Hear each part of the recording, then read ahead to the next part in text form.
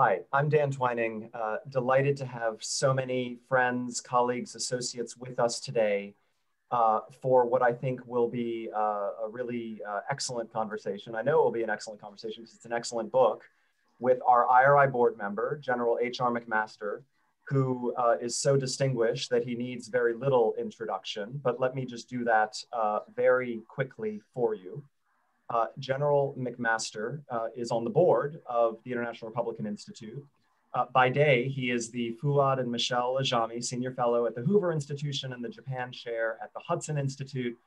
He was the 26th Assistant to the President for National Security Affairs, as you know, where he led the creation of President Trump's national security strategy released in late 2017.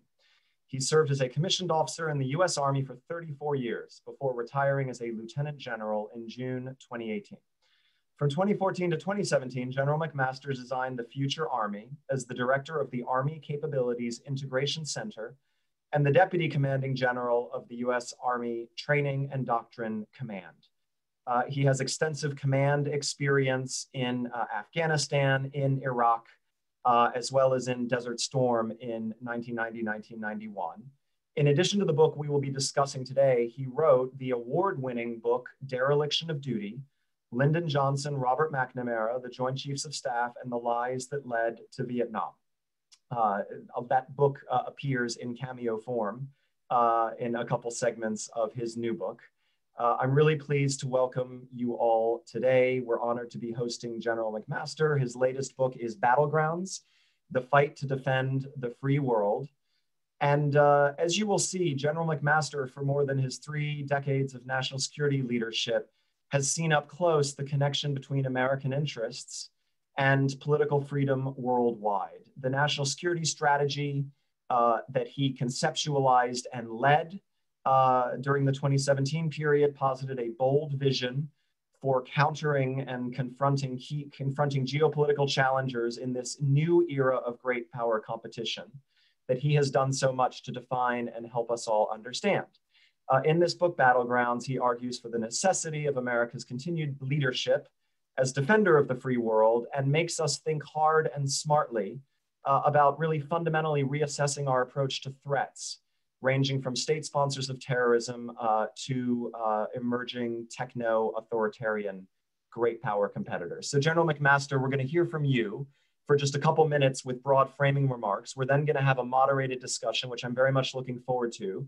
And then we'll open it up to uh, conversation with the audience. Uh, my last technical note is that the event is being live streamed on Facebook Live on IRI's Facebook page. We will not be taking questions from Facebook.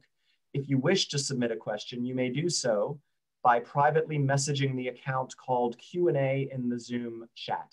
And we're gonna wrap this up uh, just before noon because General McMaster has a tight schedule.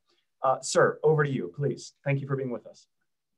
Hey, Dan, thank you so much for the opportunity to be with you. And, and thanks especially for the great work that IRI is doing as I think the, the story in Battlegrounds makes clear, the work of IRI is more important to, to our security and I think to, to all humanity uh, than it has ever been. And, and the, the reason for that is, is that we are engaged in a competition between authoritarian and closed systems and our free and open societies. And, and that competition is intensifying, especially as China is becoming more and more aggressive at exporting its authoritarian mercantilist model. Uh, and, and if China succeeds, I think it's, it's quite clear to all of us now the world will be less free, less prosperous, and, and less safe.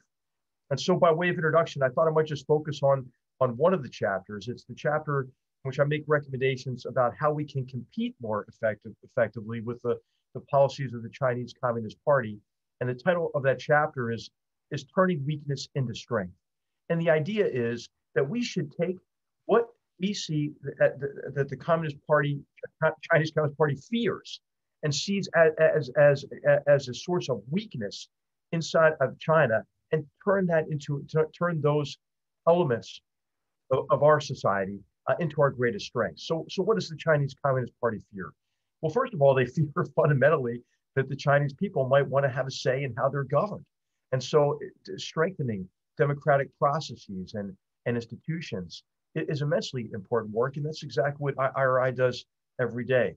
what the party fears is, rule of law, because rule of law would mean that the party doesn't reign supreme over everything, and they can't put a mil- over a million people in concentration camps. They can't establish a a uh, an Orwellian surveillance-based uh, um, police state that extinguishes human freedom and polices the thoughts uh, of their people and make sure that they have access only to information that the party deems uh, deems is is, uh, is consistent uh, with the party's objectives. They can't certainly have in, in that in that connection uh, freedom of speech or, or, freedom of expression. So strengthening authoritative sources of information and fostering programs that develop investigative reporters who can help make governments more accountable uh, to their people. So I think that these are important themes uh, uh, in, in the book that cut across multiple competitions, but I think they're particularly relevant to the competition with the, the Chinese Communist Party. So Dan, I, th- I think I'll stop there, and I'm really anxious to see where you'd like to take the conversation.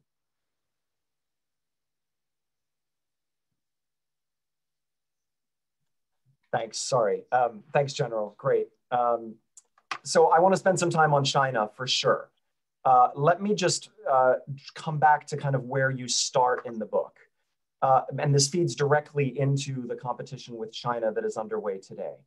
Um, you talk about strategic narcissism, uh, that in fact, uh, a flaw of American grand strategy historically has been the assumption on our side that the future course of world events depends primarily on us, our actions, our policies, our degrees of engagement, that we have not kind of given agency to other countries.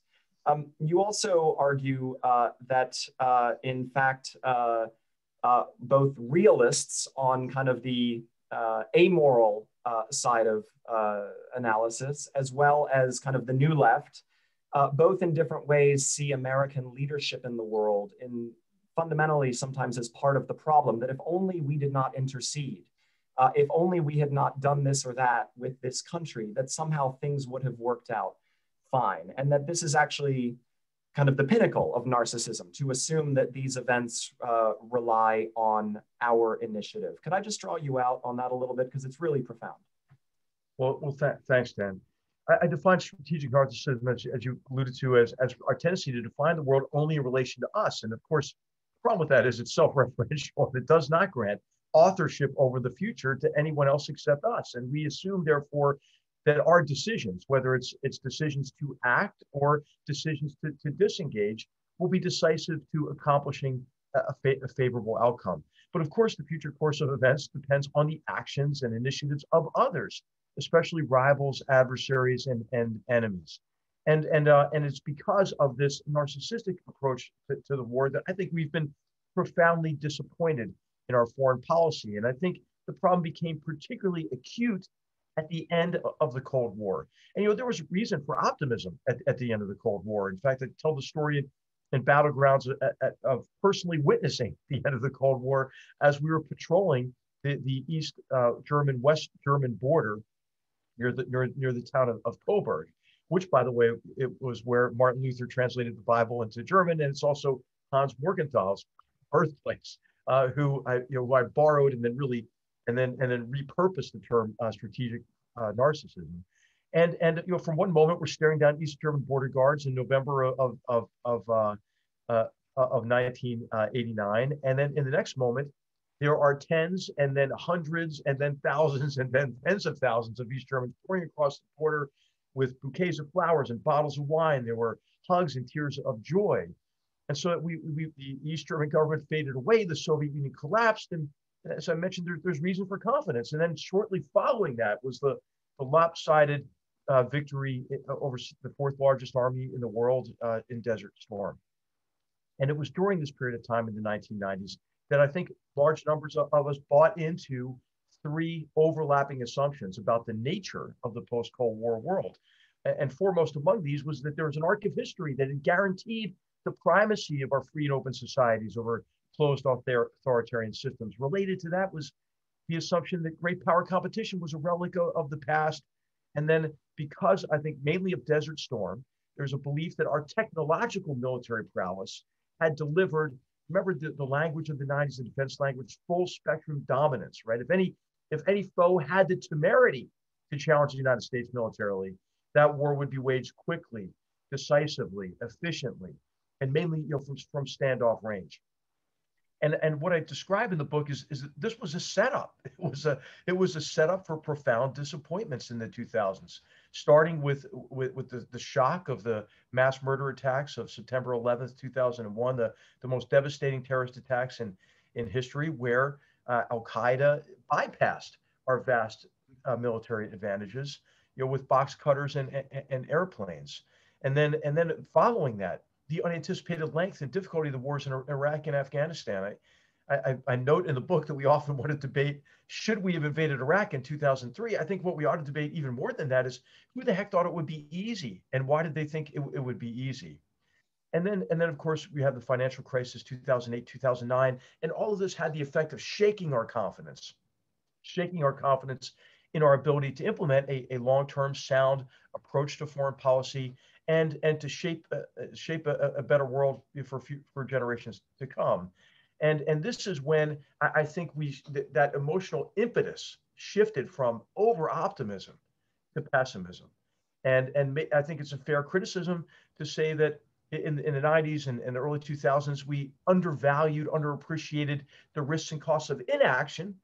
But I would say after 2008, 2009, we undervalued the risks and costs of disengagement or inaction. Examples, uh, I think, of, of disengagement include December 2011 in, Iraq, uh, when Vice President Biden calls up President Obama and says, "Hey, thank you for allowing me to end, you know, this GD war." Right? And then you have you have um, you also have, I think, as an example, uh, the unenforced red line in, in, in Syria in, in 2014. Uh, you have you have also, I think, the example of Libya, uh, in which we you know we engaged with the you know the bombs not boots approach, uh, and and did really nothing to uh, to shape the the political outcome uh, in Libya and look at the situation today. I, I think that that it's paradoxical that that the Obama administration, in endeavoring to avoid what it perceives as the as the as the greatest mistakes of the George W. Bush administration, exceeded those mistakes in many ways uh, in, in Libya, for example. So what the book is an argument for is, hey, how about something in between this? How about recognizing the degree to which we do have influence over the future of course of events, but also recognize the limitations by uh, by emphasizing at first and, and foremost uh, this uh, this idea of strategic empathy, uh, which is a, a, concept I, I, borrowed from the great historian Zachary Shore, who, who, who made this uh, a central theme in a, in a book that he wrote years ago called A Sense of the Enemy. And strategic empathy really begins with an effort to understand what drives and constrains the other, especially the emotions and aspirations and ideology. And when we when we skip that, we, we oftentimes allow implicit and fundamentally flawed assumptions to underpin our policies and, and our strategies. Great. So uh, let's apply strategic empathy and strategic narcissism to the case of China you argue fundamentally in the book that there had been a broad consensus around accommodating an engagement China, uh, reflecting, in fact, a China that we envisioned to emerge, not the China that actually did emerge. Uh, you, uh, when you took the helm as national security advisor, you uh, undertook what you argue is really the greatest, I think correctly, really the most profound strategic shift in US foreign policy, at least as relates to great power competition, since the end of the Cold War, which was to reorient uh, the US establishment around the China challenge, as well as to engage with tech industry, society writ large, because this is a cross cutting challenge. Um, just to start on kind of the strategic empathy point with China, uh, you argue quite compellingly. You talk about a visit to the Forbidden City with President Trump and the architecture of power embedded in the uh, seat of the Chinese imperial line, and how that architecture actually reflects an extraordinary fear and insecurity of uh, both palace intrigue, corruption, as well as alienation from the people. That part of what motivates the Chinese Communist Party in its current incarnation is not a swaggering sense of overconfidence. It is fundamentally a, a, set of acute anxieties. So could I just draw you out a little more on that? Right. Well, th- well, thanks, thanks, Dan. and you know, of course, I'm a student of China. I'm not in any way an expert, and and I had some great experts to learn from. Matt Pottinger, foremost among them, on my on my staff, and uh, and in the writing the writing of this book, Dan, it was a continuation of my own self education. So, uh, I, there's a, there's a recommended reading section in the back, and uh, and and in you know, in that recommended reading section, I, I list the books that that I read and, and really felt uh, were, were, immensely helpful in, in my understanding better Chinese history, and its application or, or manipulation as it relates to the, uh, to the Chinese Communist Party. And, and what struck me about the, the tour, of, tour, tour in, the, in the hidden city, uh, the Forbidden City, was this, you know, the, the way that the, the, the, main, the main theme was that hierarchy brings harmony. and, uh, and, and the emphasis on, on control and centralized control and, and how the architectural style was, was meant to uh, was meant to display confidence, profound confidence on, on the part of, uh, of Chinese leadership. And, and it was this historical metaphor that Xi, Xi Jinping was using to, to really uh, to, to, really acquaint uh, Donald Trump, uh, President Trump, uh, and our party with the theme that he had introduced in, in the speech, not introduced, but, but expounded on in October of that year at the, at the Communist Party plenum when he spoke of, of China taking center stage in the world, its rightful place after the so-called uh, century of, of humiliation. But the, the more I thought about, about the Chinese Communist Party and what motivates them and read, read about it, uh, I, I concluded that they are mainly motivated by fear. And it's fear of losing control. And this is why, obviously, you see the, the party extending and tightening its exclusive grip on power by through a number of draconian measures, whether it's throwing Xi Jinping's uh, most vocal critic in jail for 18 years, or rounding up, you know, the, the usual suspects in, in Hong Kong and throwing them into, into prison, or putting a million and a half people in concentration camps, or weaponizing people's social networks against them uh, with the, the system of the social credit score. So I, I think that I think that Chinese behavior is easier to understand once you realize how desperate the party is to ensure that that the Chinese people don't get the idea that maybe they should have a say uh, in, in, in how they're governed. This also explains their external behavior and this drive to achieve national rejuvenation. One of the mechanisms for controlling the population is an ideological me- mechanism of, of uh, you know, jing- a jingoistic nationalist uh, interpretation of, of Chinese history. And, and, and this idea of, of rejuvenation, retaking center, center stage uh, in, in, the world. And I think one of the greatest dangers we face now is what if the Chinese people are believing uh, this propaganda? What if the People's Liberation Army is believing this, this propaganda?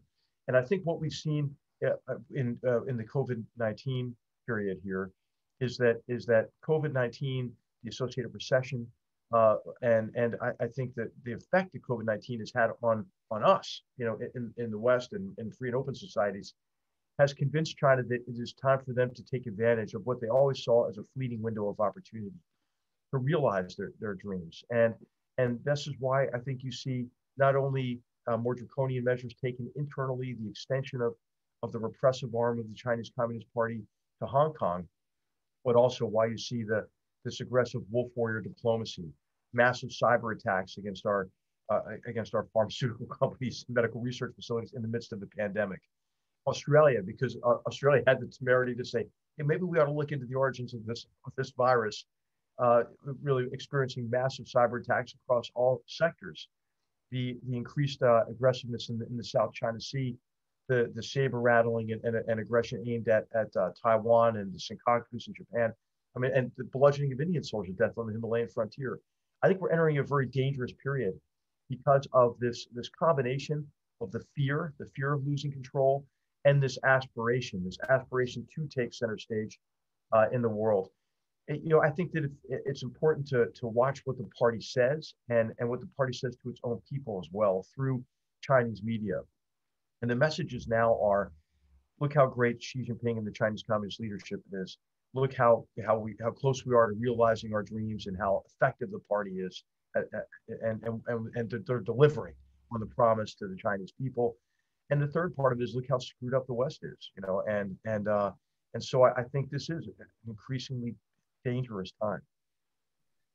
Thank you. Um, so you argue very compellingly that the Chinese are pursuing a strategy of co-option, conceal, coercion, and concealment uh, you argue that this actually has in common with Putin's playbook, uh, the objective of collapsing the free, open, and rules based order that the United States and our allies established after World War II.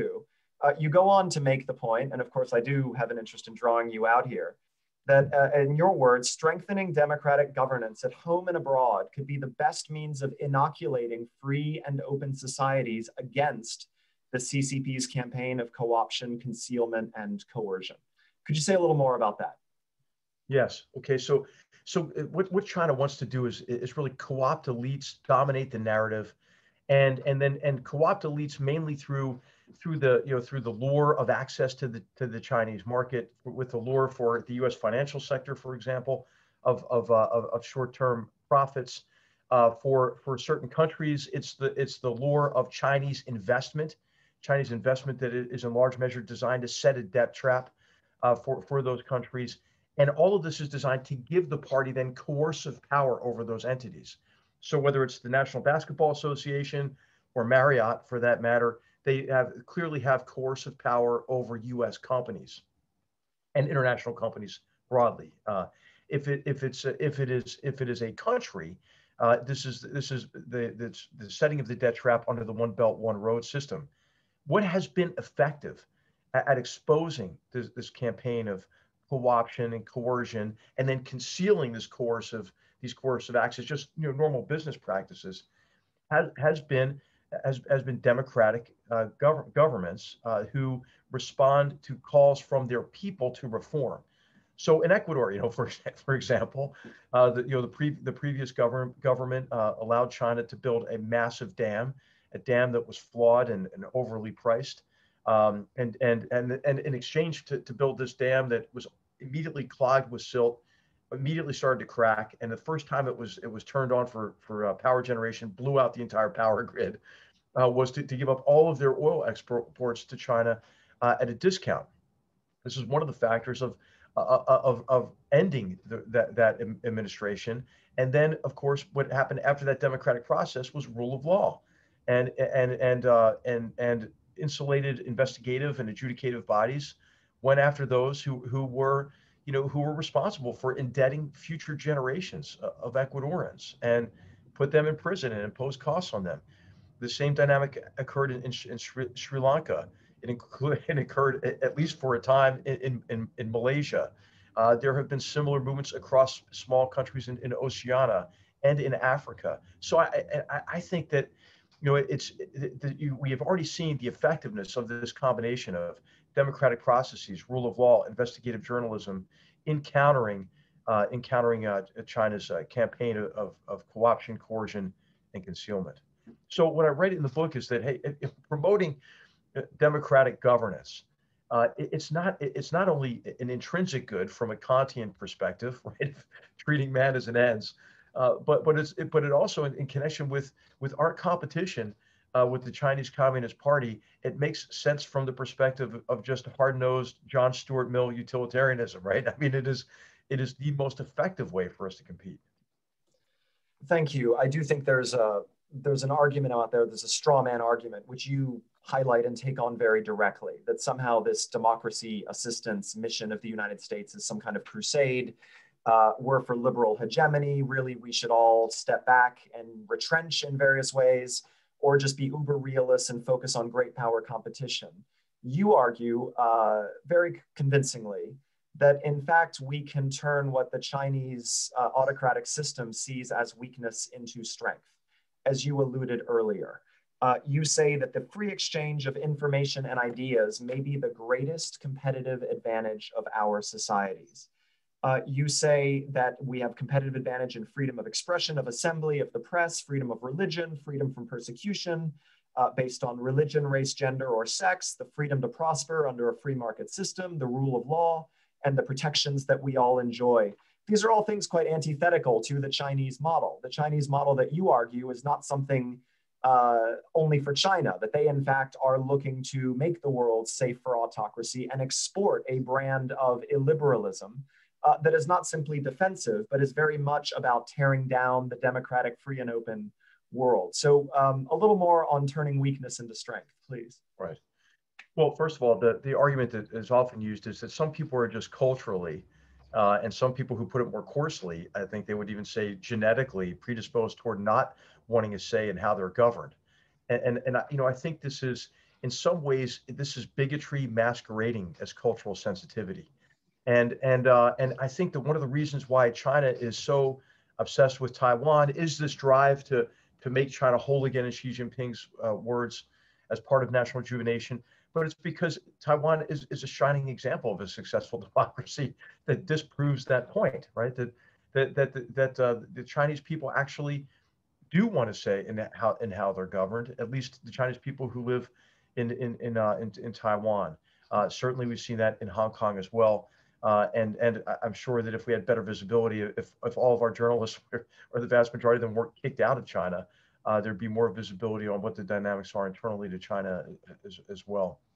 So I, I, think that this is important to recognize that it, it's not as if we are you know arguing or th- that we should export our, our form of democracy to those who are unwilling right or to undertake grandiose nation building to transform societies but what america can do and what other free and open societies can do is help those who want to help themselves who want to reform, who want their, their to have a say in how they're they're governed, who want to live under rule rule of law and but not and not have to go to you know not have to go to, to criminal uh, organizations or or you know tribal militias for protection and and, and so forth. So I, I think that you know this has been set up as, as a straw man. You know, nation building is a dirty word these days, uh, but but I think programs like IRIs, where we you know we, we recognize it's it's our local partners who have the lead and we're only there to support, I think is the, is the best way to compete.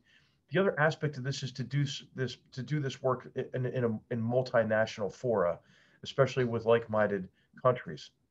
You know, Dan, there's a, as you know, there's a lot more cooperation in this area than than I think anybody realizes. On the economic front, in particular, Japan has largely taken the lead on, for example, promoting infrastructure investment standards that that prevent China or or make it more difficult uh, for, for China to, to set the debt trap for vulnerable countries.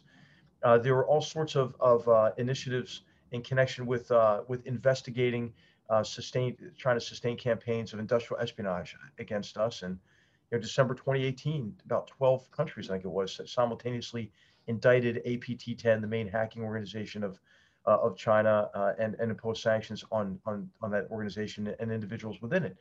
So I, I think multinational cooperation and sharing the burden in this is important. And you mentioned also uh, information and how important the information domain is. There are some very important competitions right here coming up on the horizon in terms of in terms of data standards and privacy standards having to do with communications and, and the internet. And this is, is it's immensely important, I think, for for our free and open societies to come together to, to influence the establishment of, of those of those standards in, in a way that are favorable uh, favorable to all humanity. We have been a little bit too fragmented on this uh, these days. I think the U.S. has got to, has to work more closely with European Union, with Japan, and then try to pull India into this conversation uh, in, in, a, in a meaningful way, so that there aren't multiple systems cropping up that really dis- disconnect us from one another. Uh, I know that I, I, know that there's deep skepticism uh, as well these days because of the own pro- the problems we have in our in our own society uh, problems that are laid bare, I think, in, in, large measure by the, the triple crises of the, the pandemic, you know, the recession following the pandemic, and the social divisions and, and unrest uh, and, and, violence that followed uh, the murder of, of, George Floyd. There has been, there have been, you know, uh, themes uh, throughout the whole election of, of, of doubting, you know, the viability of our democratic process during the election.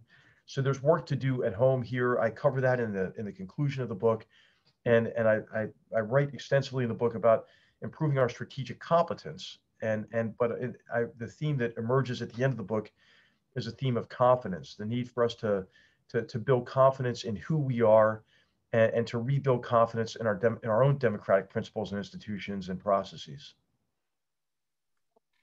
this is great i i I wanted to seg to both digital and us. So uh, thank you for doing that for me. Uh, just a note to the audience, please do put your questions in the chat because we're about to open it up, the chat under Q&A, and I'll come to you in just a couple minutes here. But General, last question for you, and maybe I can merge them. Uh, you do make the point uh, that we thought technology was going to make autocracy essentially impossible uh, 20 years ago. We have now seen that, in fact, it has enabled all forms of authoritarian surveillance, control, uh, police state behavior that is much less physically repressive than the old police states, uh, but that in fact is more malign in many respects in terms of thought control, in terms of suppressing speech and assembly, and other things. So you argue that there's only so much the US government can do here, right, when it comes to uh, uh, digital disinformation campaigns emanating from hostile actors abroad, uh, when it comes to going on offense, which you argue we should do in terms of helping get free and open information into closed repressive societies so that citizens there uh, can make up their own mind. But that really this needs to be a broader effort uh, beyond just the US national security establishment. It needs to involve the tech companies. It needs to involve uh, businesses, including US uh, capital that underwrites big Chinese tech companies. Uh, and it needs to involve, perhaps most importantly, citizens, citizens in the United States who need to be educated and smart about the social media they consume, who need to be able to identify uh, foreign sponsored efforts to divide and polarize us. Um, we're about to have a big election. We don't want to talk about political party politics here, partisan things, but really, this is really about the future integrity and unity of our country in this digital era. Uh, what more do we need to do? Well, Dan, I, am really concerned about this, as I know many Americans are. And I, I think it's it, it's fair to say that we are better connected to each other electronically than ever before, and more disconnected from each other emotionally and psychologically uh, than we have in at least my memory. And so I, I think one of the first things that we have to do is make a concerted effort to bring Americans together, to bring Americans together to have conversations that are more than, you know, 280 characters or whatever it is now on, on Twitter.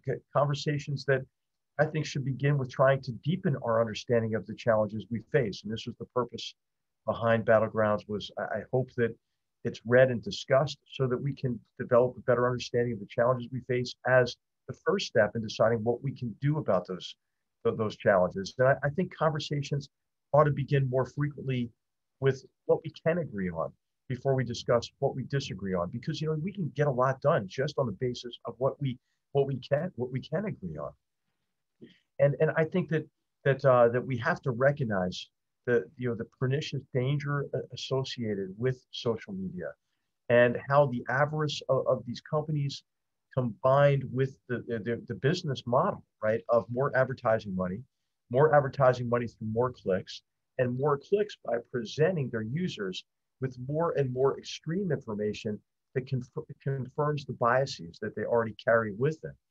Uh, and so I, I, think that this is a force for division, uh, as, as, well as is the the the, uh, the pseudo media that sows a, lot of the you know the, these conspiracy theories. You know the QAnon uh, people on, on one end, and then you know their equivalents on on the uh, you know, whatever the other end of the political spectrum is. Uh, uh, some of these groups even defy categorization.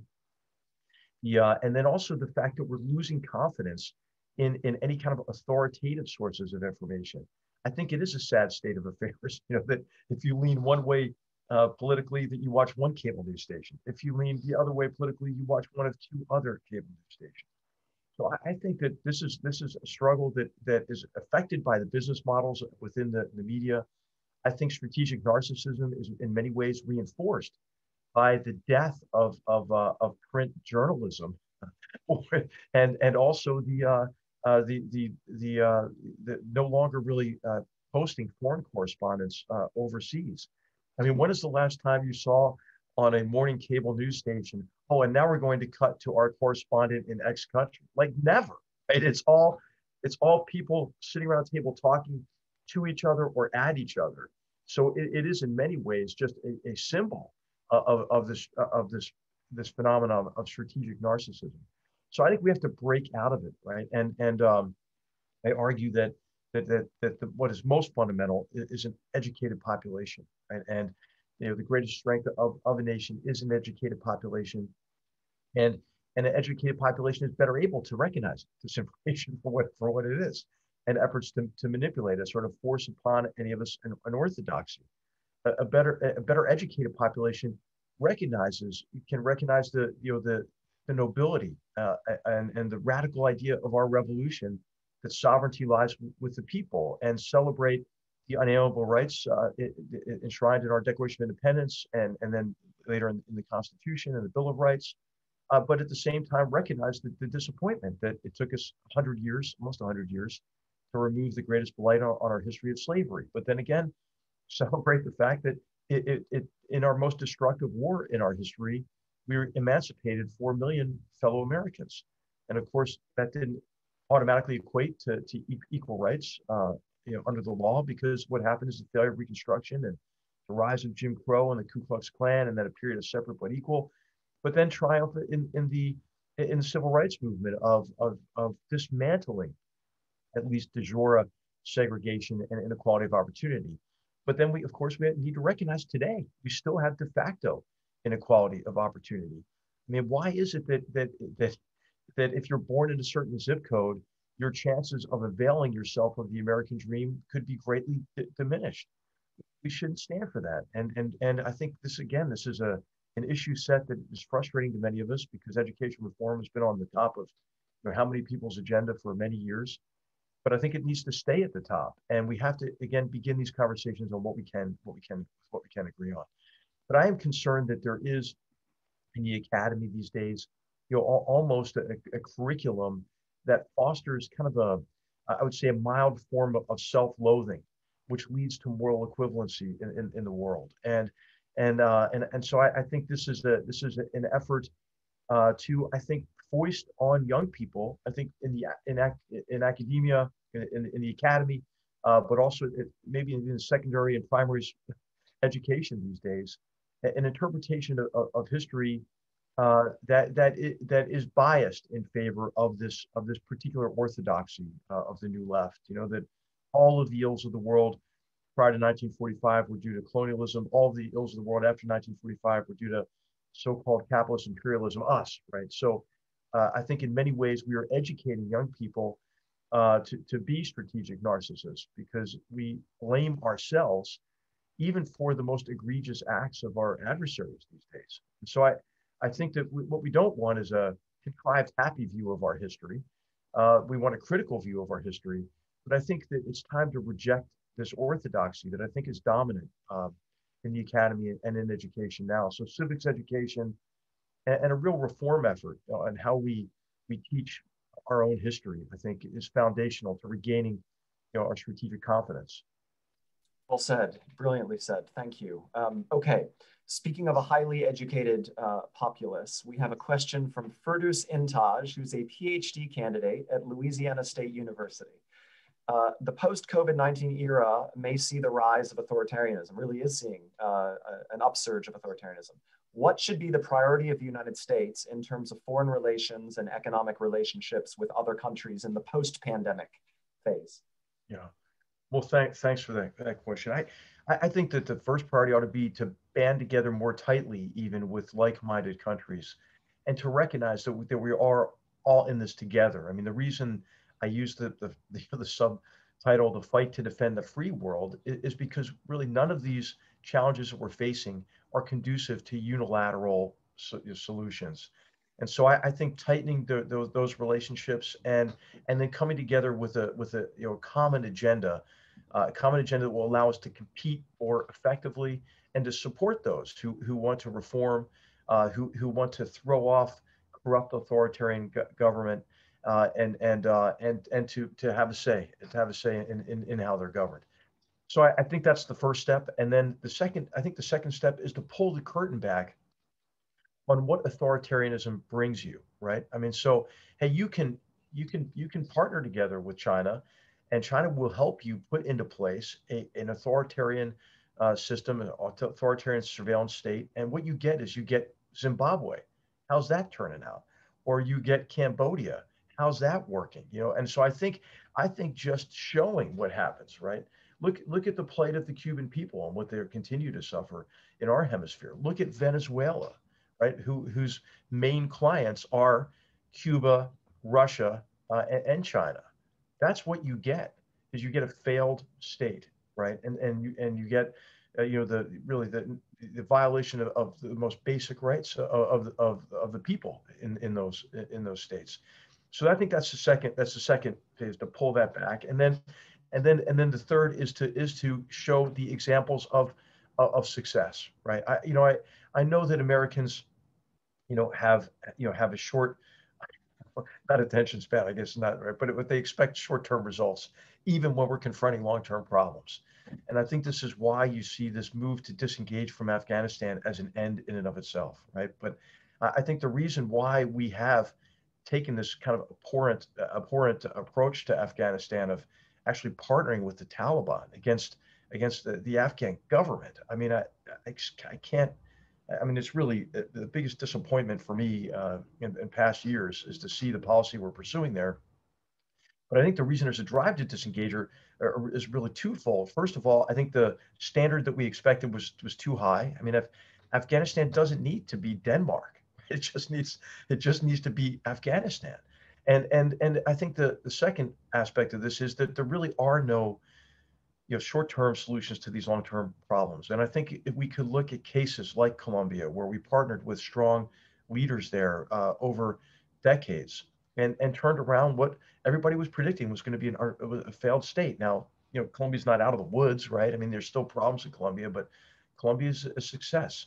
South Korea is a, a great example that I, I draw out in, in the book of, you know, a country in 1953 that was ravaged by you know, by decades of war and brutal occupation, had no natural resources, uh, an undereducated, largely illiterate population, a corrupt government, and a hostile neighbor. I mean, prospects were were pretty dim, you know. And and now South Korea is a is a, is a vibrant uh, uh democracy. It's the fifth largest economy in Asia. So I, I, could go on about this, but I think that's those are the three steps, right? Partner with like-minded countries.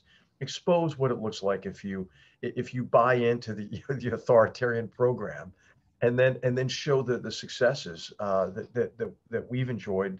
Uh, you know, free and open societies have enjoyed when we partner with others uh, uh, and and to help, you know, really uh, effective leaders and reform movements in other countries.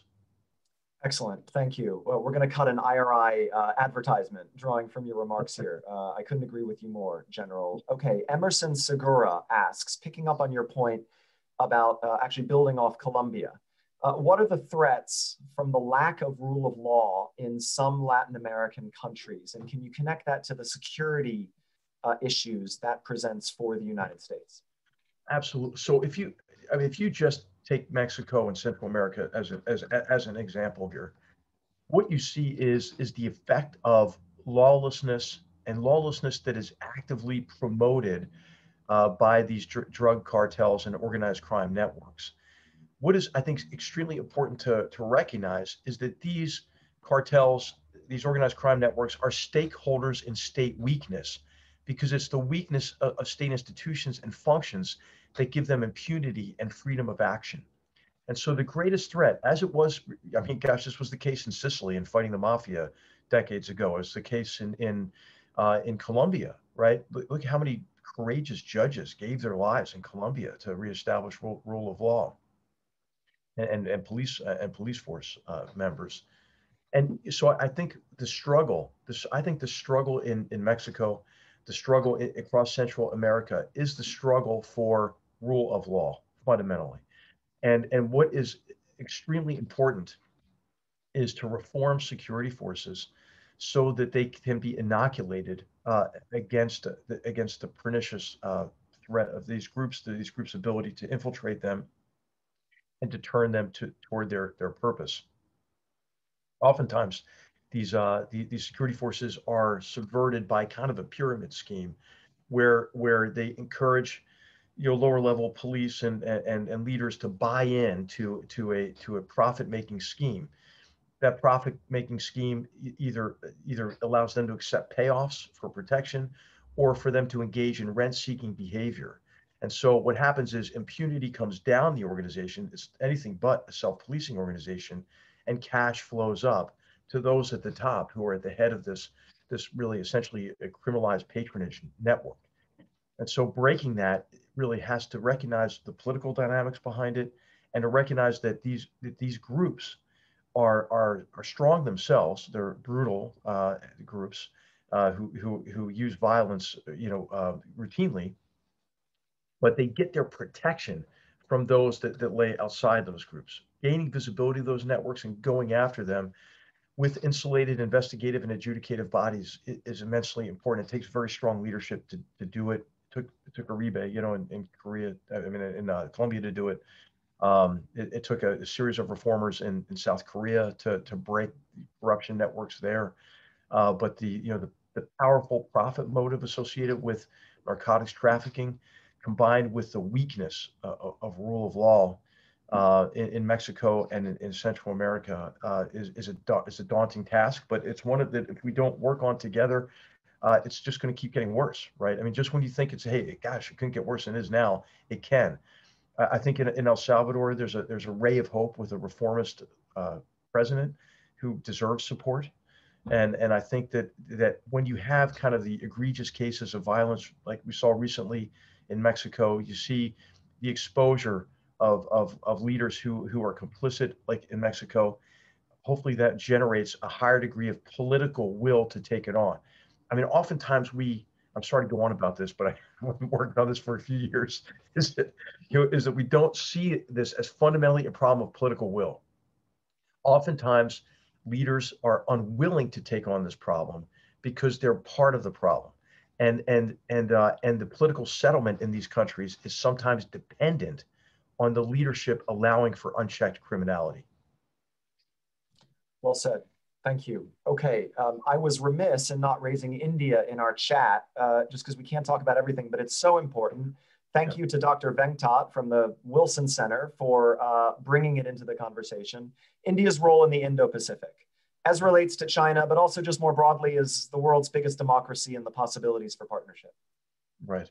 So India figures prominently in, in battlegrounds, and as you know, did in the in the national security strategy in 2017 as well our, our relationship with India has been on a very positive trajectory since the administration of, of President George W. Bush, who I did think did some uh, Secretary Condoleezza Rice and others did some really important groundbreaking work there to take our relationship to the next level. My friend at Hoover, David Mulford, who was our ambassador to India at the time, um, and and so I, I, I think that you know Ken Juster, who is our ambassador now, is an amazing representative uh, of, the president and our and our country.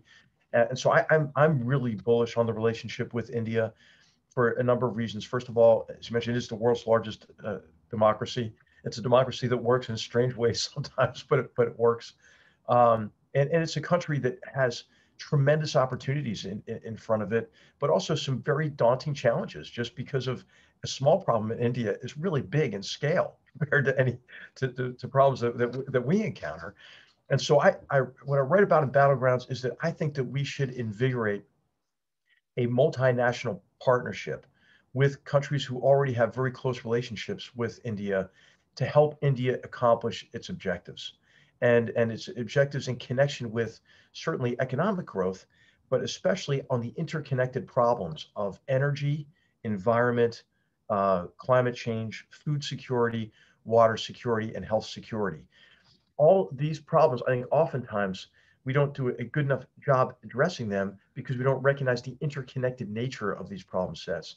And then we focus on only one. For example, if you focus only on, on, on food security, you could create great stress uh, in terms of lack of potable water, right? Because as has happened in India, 80% of the water supply goes to, to agriculture and, and about 600 thousand Indians are in water distress, you know, every, every year.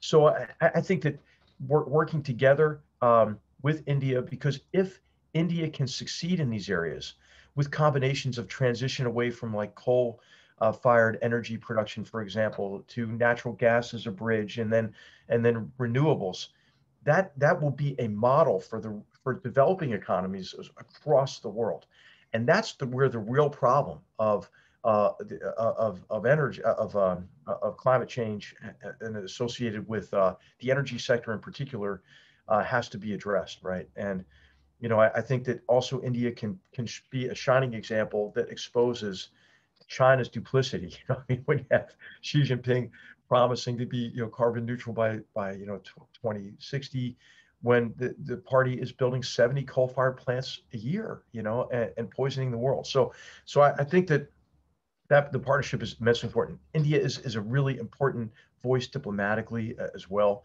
I think having India inside of BRICS, inside of, of the Shanghai Cooperation Organization, provides a sanity check, you know, on, on, on authoritarian regimes within those same uh, same organizations. And then finally, I think that that partnering with India, as I mentioned already, in, in emerging uh, standards, uh, economic standards, and, and especially standards involving data uh, and, and privacy is, is going to be immensely important. Great. Uh, we're just going to do uh, maximum five more minutes here. So uh, I'm going to ask you if you can, I have two questions, and I'm hoping you can do two brief answers because they're quite different. The first one is from our colleague, not our colleague, somebody in Tunisia named Fakri Farati. So we're going global here. Uh, Fakri asks about the connection between economic uh, growth and political development.